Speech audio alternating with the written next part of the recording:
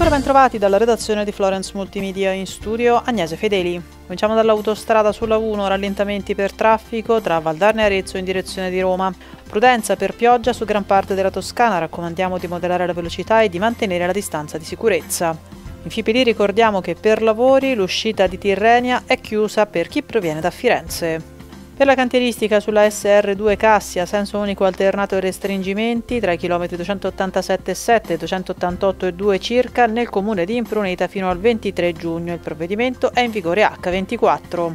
In settimana nuova sulla SR 429 di Valdelsa, senso unico alternato e restringimento dal chilometro 44 al chilometro 47 circa nel comune di Poggibonsi. Il provvedimento è in vigore dal 20 al 22 maggio in orario H24. Muoversi in Toscana Info è un servizio in collaborazione con Regione Toscana, Città Metropolitana di Firenze e Comune di Firenze. Per ora è tutto, buon viaggio!